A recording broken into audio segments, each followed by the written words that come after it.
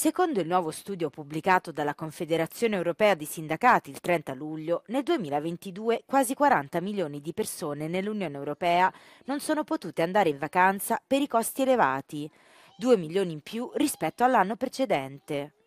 Lo studio mostra che l'aumento maggiore della cosiddetta povertà da vacanza si è verificato in Francia. Le coût de la vie de toute façon ne va jamais en diminuant, c'est toujours en augmentant donc tous les tarifs sont toujours plus chers. Euh, la raison, évidemment, c'est l'économie mondiale.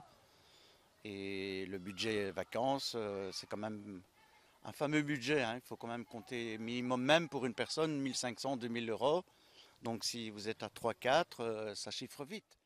Sono 13 i paesi dell'UE in cui la situazione è peggiore della media del 14,6% del blocco.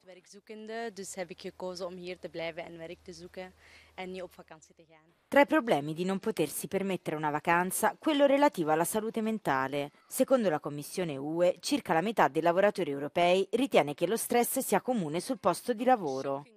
It used to be the case that working in Europe meant you could afford a holiday. Five days, we're talking a week away, either in your own country or in another country. La comunicazione sulla salute mentale pubblicata dall'esecutivo sottolinea la necessità di lavorare sul diritto alla disconnessione come parte integrante della riduzione dello stress legato al lavoro.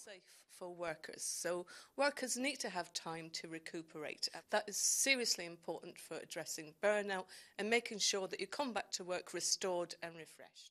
Secondo lo studio, i dati del 2023 potrebbero essere peggiori a causa dell'aumento del costo delle vacanze e dei salari non adeguati all'inflazione.